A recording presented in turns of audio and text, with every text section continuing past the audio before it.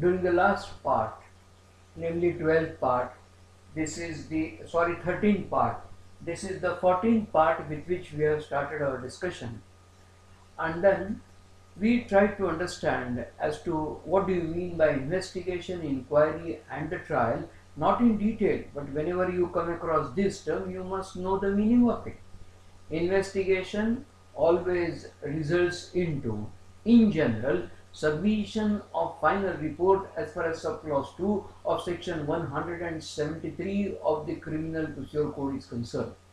This is the last report and hence we call it final report but in day-to-day life this is also what is known as charge sheet or challan we don't come across this term anywhere. Charge sheet is the term to which we don't come across anywhere in the criminal procedure code right from section 1 up to section 484 when we will discuss right from section 154 up to section 176 of the criminal procedure code we will come to know always I mean the steps that are taken for the purpose of investigation and arrest, arrest of the detail just introduction to the chapter. With this now I refer to various trials but the trial depends upon what? The trial depends upon the nature of the case and what do you mean by nature of the case whether it is a summons case or whether it is a warrant case. Now, in order to know whether it is a summons case or warrant case, if you refer to section 2W, which says summons case means a case relating to an offense which is not a warrant case. In other words, to know what do you mean by summons case, this is the time for you to, I mean, refer to. As to what do you mean by warrant case for which you will have to refer to section 2X and then you come to know. Warrant case is a case relating to an offense which is punishable with death, imprisonment for life or imprisonment for a term exceeding two years.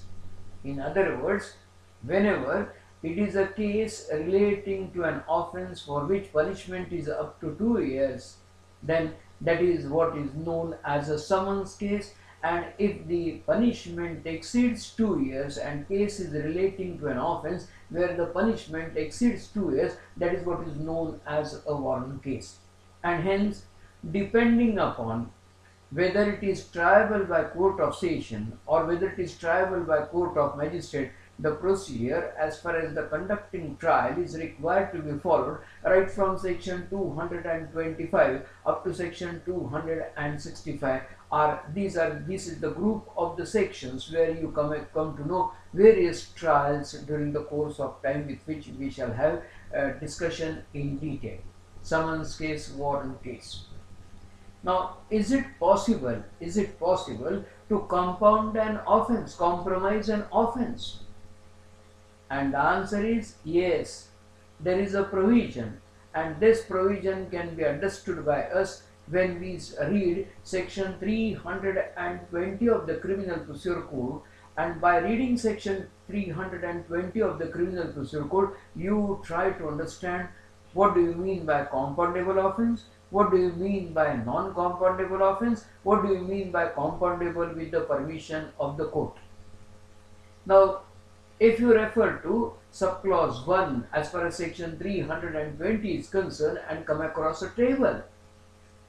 And if you refer to that particular table it first vertical column makes mention of the offense second vertical column makes mention of the section number and that can be compounded by whom now the sections of course are for Indian Penal Code so if you refer to the table as far as subclause 1 of section 320 is concerned, you come across offences which can be compounded by the aggrieved person as far as third vertical column, last vertical column is concerned. Who can compound the offence? That person can compound the offence who, of which mention is made as far as last vertical column is concerned.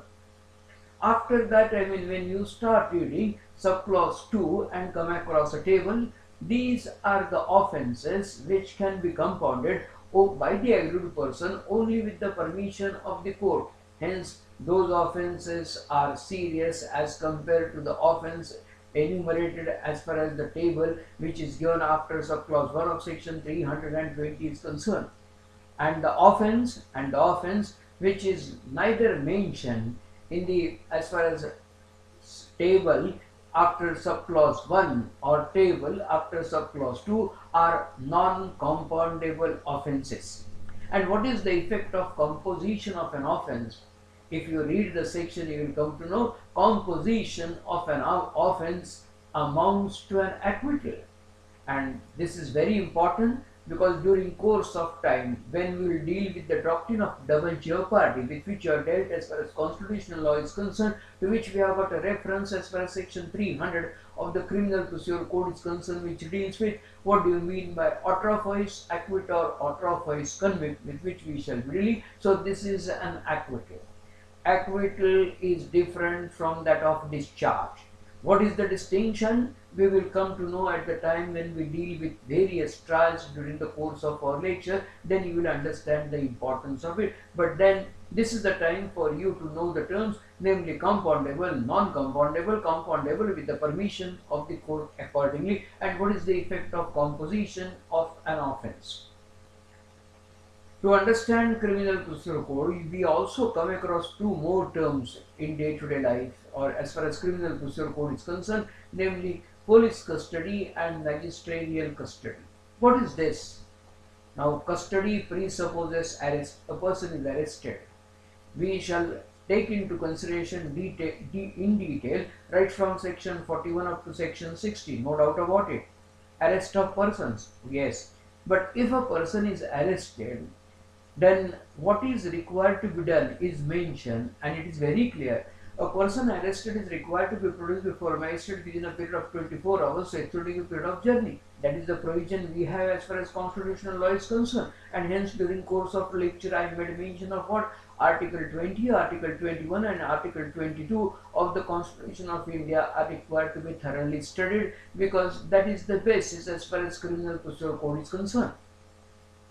So if he is arrested by the police for the purpose of collection of the evidence, he can be taken to the police station. Now if he is, if he is allowed, but mind well, there cannot be detention and he is required to be produced before the magistrate within, within a period of 24 hours excluding the period of journey. But after that he can be detained at the police station as per the order or as per the permission which is given by the magistrate. So when he is kept at the police station, when then in when he is in the custody of the police it is said it is said that he is in police custody. If not then he can be uh, in the magisterial custody. The maximum number of days for which a police custody can be granted is never more than 15 days under any circumstances as far as criminal procedure code is concerned. And then this is the time for me to draw your attention as the person is arrested the steps that are taken by the investigating officer with which we shall be dealing during course of our lecture. What is the maximum period for which there can be a magisterial custody with which we shall be also dealing during course of time. No doubt about it because this is the this this has got reference to section 167 of the criminal procedure code with which we will we shall be dealing when we start right from section 154 up to section 176 of the criminal procedure code. So this is regarding police custody and magisterial custody. With this now, as we start le le learning criminal procedure code, we also come across two terms. One is officer in charge of a police station.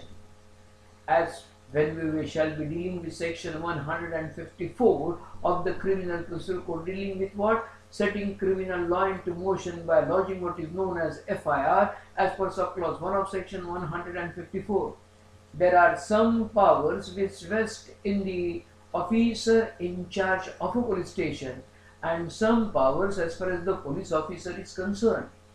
Every person who is in the police department, irrespective of his grade, is a police officer, no doubt about it. But who is officer in charge of a police station for that? If you refer to section 2O, you will come to know the person who holds the charge of a police station, who is in charge as far as police station is concerned, who is head as far as the police station is concerned, is officer in charge of a police station. Now it is impossible for one person to be there for entire period of 24 hours and hence in his absence, whatever may be the reason, in his absence, the person who is next in his rank grade becomes what is known as an officer in charge of a police station. But then section makes it very clear that oh, it is only a person who is above the rank of a constable so who can become officer in charge of a police station. So constable is a police officer, no doubt about it. But constable cannot become officer in charge of a police station.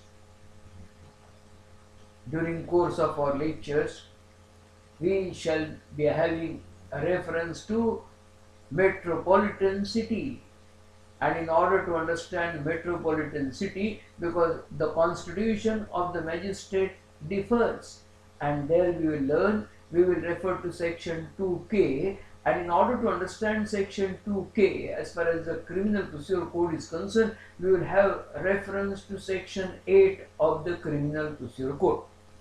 Thus as we start learning the provisions of the criminal procedure code we will work out details regarding all these terms no doubt about it.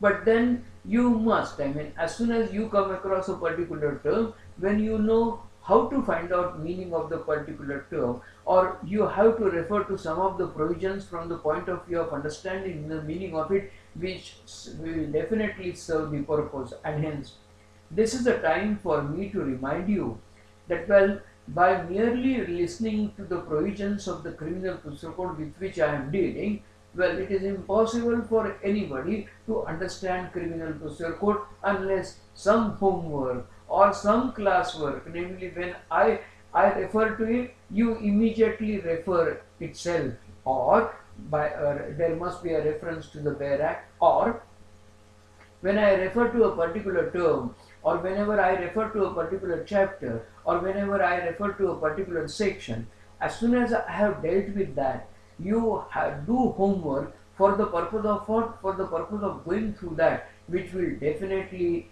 be in your interest from the point of view of having right, just and proper approach to study the law. My role is not to have spoon feeding mind well. My role is merely to show you a direction.